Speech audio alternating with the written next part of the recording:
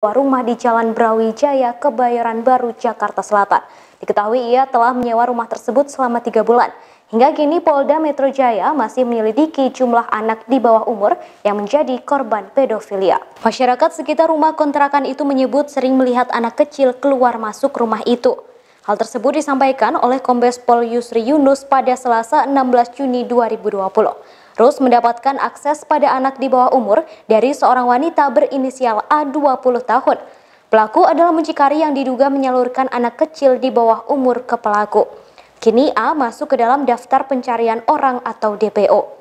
Dikutip dari tribunnews.com, Selasa 16 Juni 2020, Direktur Reserse Kriminal Khusus Polda Metro Jaya, Kombes Pol Roma Hutajulu mengatakan pelaku juga kerap bolak-balik Indonesia dan negara asalnya di Amerika Serikat sejak 2019 lalu.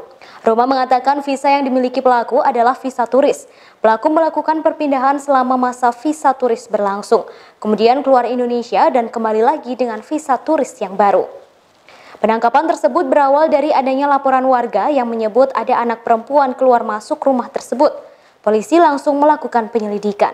Kemudian pada Minggu 14 Juni 2020, kepolisian langsung menanyakan tiga orang anak perempuan yang baru keluar dari rumah pelaku.